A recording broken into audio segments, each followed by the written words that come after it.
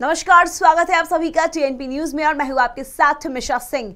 छपरा में रिवीलगंज थाना क्षेत्र में जमीनी विवाद के चलते बदमाशों ने युवक को गोली मार दी, जिसके बाद युवक को इलाज के लिए अस्पताल लाया गया, जहाँ इलाज के दौरान डॉक्टरों ने युवक को मृत घोषित कर दिया।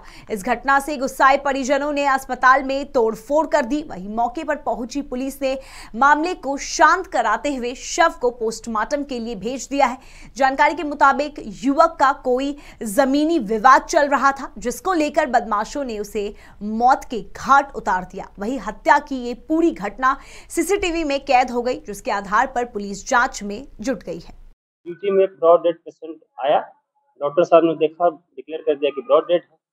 गोली लगी हुई थी। उसके बाद उन्होंने मारपीट करना शुरू कर दिया। डॉक्टर के चिकित्सक रूम में शीशा वगैरह तोड़ दिए। यूनाइसर रूम का शीशा वगैरह तोड़ दिए। जो वहाँ पर स्टाफ थे, उनके साथ मारपीट, गाली गलौज करना शुरू हो गया। उसके बाद, फिर पुलिस को बुलाया गया। उसके बाद भी उलझते चले गए। तो भाषा के हमारे सेक्रेटरी जो डॉक्टर केम दुबे हैं, फिर किसी तरह डेड बॉडी को वहाँ से निकाला गया पुलिस के द्वारा और पोस्टमार्टम मिल जाएगा, लेकिन अभी फ़िलहाल डॉक्टर लोग आक्रोश में हैं कि माहौल ही नहीं मिल रहा है कि काम करने के लिए। इसलिए हेल्थ प्रोफेशनल एक्ट के तहत जो प्रावधान है, उसके तहत पुलिस कार्रवाई करे या प्रशासन कार्रवाई करे। छपरा में अपराधियों का मनोबल सातवें आसमान पे है। अभी ताज़ा मामला रिविलगंज थाना क्षेत्र का है, जहाँ पे एक अपराधियों ने एक व्यक्ति को गोली मार कर हत्या कर दी है। उनके परिजन है उनसे बात करनी कैसे घटना घटी है सब। घटना घटी है हमारे भैया पूजा पूजा करके बैठे थे पेपर पढ़ रहे थे कुर्सी पर। आया दो तीन अपराधी गोली मार दिया। हमारे गिर गए भैया हमारे दो भतीजा थे उठा कर लाया हॉस्पिटल हॉस्पिटल में कोई डॉक्टर नहीं था। भैया हमारे ज़िंदा थे। यहाँ पे हॉस्पिटल में इलाज उनके नहीं हो नहीं नहीं हो पाई डॉक्टर भी कोई भाई नहीं है। दो घंटा से इधर उधर कर रहा है कोई नहीं है डॉक्टर। साजिश के तरह गोली मारा गया है।